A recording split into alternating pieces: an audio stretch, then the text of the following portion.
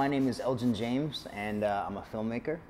Yeah, I grew up. Um, I grew up uh, kind of tough circumstances when I was a kid, and uh, in a really kind of violent and abusive household.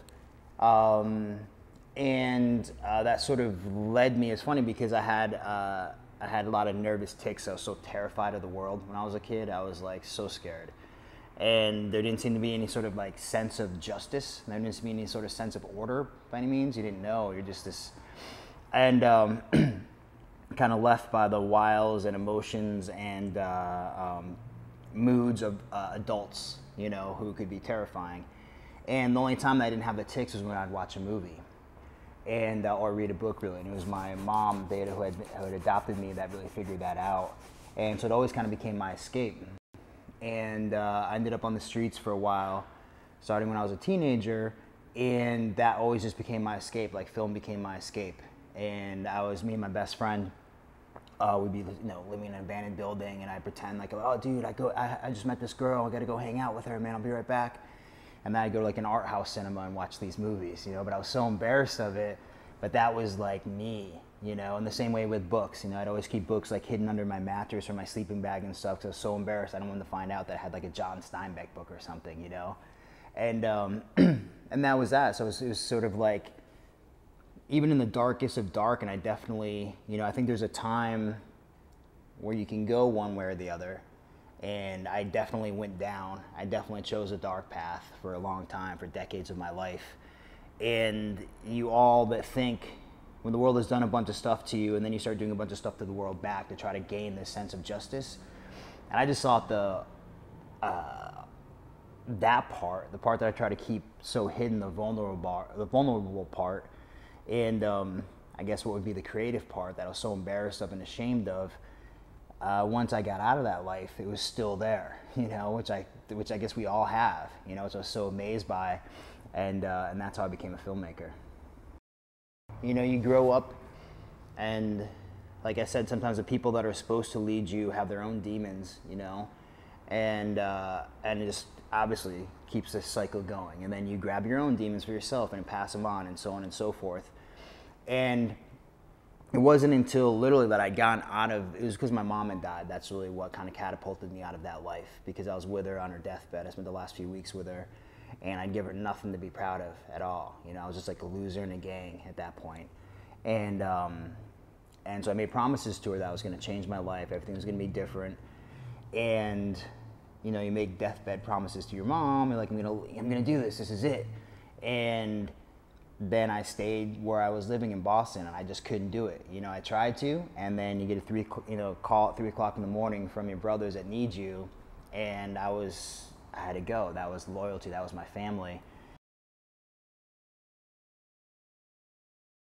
It was a very intense time. I had, I, what time I'd come to LA and I was trying to do different projects and figure out I'd never written a screenplay before. I didn't know anything about movies really, except that I wanted to be part of them. I wanted to tell stories because I really feel like movies had saved my life. You know, everyone's like, ah, oh, film, you know, it's not rocket science, you know, but, or it's not brain surgery, but it still saved my life. You know what I mean? It was the only thing that got me through. It was the only time I could sit in a dark theater and not feel so alone in the world, you know? And that's what I wanted to be part of. And I wanted to be part of telling my own story. And then people came to me about, hey, we should make a movie about your life. And I was having a hard time at the time. So I, I mean, I was like, this is amazing. This is awesome. Making movies is so easy. This is great. And I have this A-list actor and this A-list, A-list director and these very smart writers. And I wasn't going to write or direct. I was just sort of the guy they brought, you know, they shuffled into the room and then shuffled out. And, uh, but at the time, having lived a life since I was a child, a very young child, like surrounded by violence and then being part of violence, I didn't know how I felt about it all. And they're trying to basically shimmy the story down into something very clear cut, which is like we're Robin Hood kids out doing these positive things, and look at us, and and there is justice in the world, and the story wasn't that simple. You know, the story there's much with anything. Once you try, we were trying to do, or I was trying to do. I can only speak for myself. Um, unjust acts to try to bring about justice, you know, or what I thought maybe they were more immoral acts because they were violence against people I thought who were immoral, and I thought that would balance itself out. And um, So I didn't know how I felt about the violence, and people were dying.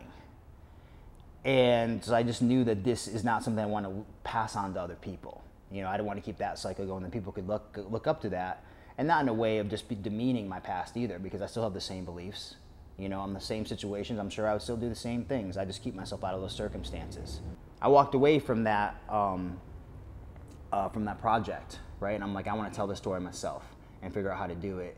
And then I wrote this film, Little Birds, which is about me and my best friend, but I turned this into 15 year old girls instead. So kind of like still address violence, but in a very different way. And talk more about what was more important, which is like our friendship, our friendship, you know, and the emotions behind that.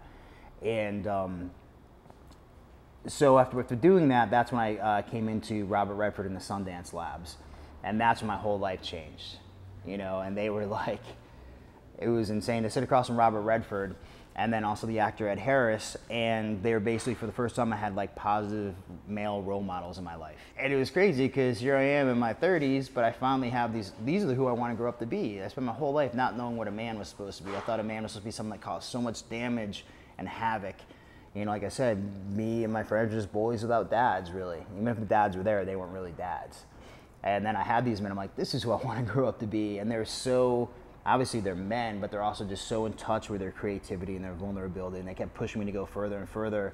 And Robert Redford, especially, uh, just called me out on all my stuff and uh, about violence, about my past, about everything. Just pulled my card and just basically like you're still, you know, you're kind of you're stunted. These things happen to you as a seven-year-old child, and you're still stuck there.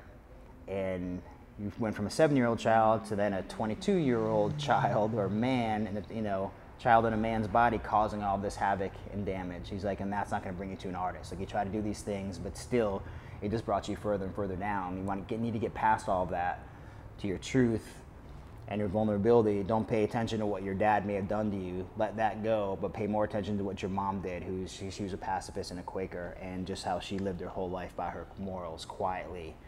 And um, so this amazing. So obviously you hear that from anybody. Then hear from Robert Redford, like, oh my god, you know. But if real life was a movie, it was like your brothers that would be there, whoever. And uh, and when I looked around, those were the people that were around. You know, it was this little English girl named Juno Temple that was still there as my producers. It was Brian Grazer, the day of my sentencing, not knowing how long I was going to go to prison for. Uh, paid me, had me sign a contract, and paid me to write a screenplay so my wife would have money while I was in prison the whole time, and I'd have something to look forward to another way out. So the only reason like we're here together is just through mentors. The only reason that we're here is because of other people that were generous enough to see, because there was nothing on paper to say that I had any sort of worth. You know, there's actually on paper there's lots and lots of documents that I was worthless, and still people were generous enough to see some something in me. I still don't know what it is, but so that, so back to your question, uh, it was insane. So I was sentenced to prison, but at the same time, like this person had taken this stake in me and put this stake in me and my voice, and made me feel important. That my voice was important to get out into the world, and um, and that was one of the reasons why you just keep getting up, you know, because you keep falling. You know, you make it up to this next level of like, oh man, I'm a filmmaker, but you just still fail every day. You fall on your face every day. But the reason why I get up are for those people who believed in me as far as publicity, I'm always going to be, not always, because that's exactly what I want not to be. I want the conversation to move on from just being the ex gang member who's now a movie maker, you know, but still understand that that's what people are going to want to talk about. Like the meeting I discussed earlier, that's what they want to talk about for 20 minutes. But I'm going to give you an honest answer about it. You know, I'm not going to, that's not going to become my persona. People were very, very surprised. Uh, some people, I think, very, very disappointed when Little Birds premiered and uh, it was not a movie about a bunch of guys, you know, robbing. Although there was some guys robbing in the movie, but that's not what it was about. It was about these two 15-year-old girls, the end of their friendship. But when people started to post about it, you know what I mean? When like someone would post like their own scars, like on Instagram, we you know split screen with a scene from Little Birds, or talk about it, you know, or make their own posters from it. That's when it was like, that's it, you know. Or uh, someone posted.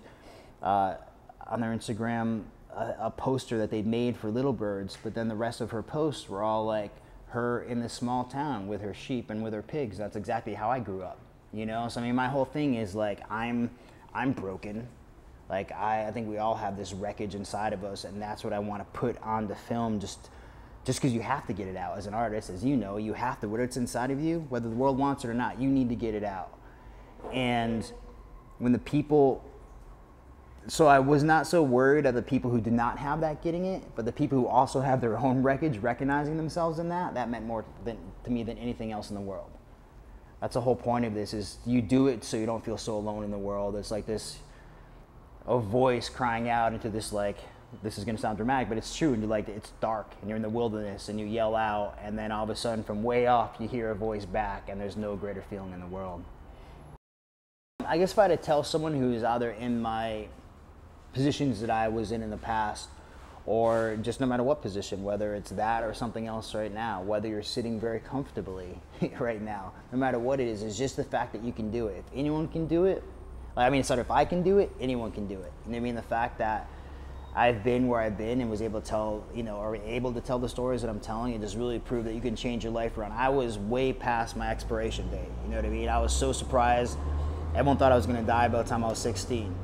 You know, and then I'm next. Then you grow up and you're 25, and you're like, "What do I do? I wasn't supposed to be here." You know, I just continue doing worse things and worse things. And the fact that I'm here now, that's just it. Is just figure out what your truth is, and don't let anybody sway you because they're going to try to everyone's going to try to and the fact it's so hard when you're off on your own beat and everyone's going one way but your one beat is what's going to inspire others you know what i mean it's like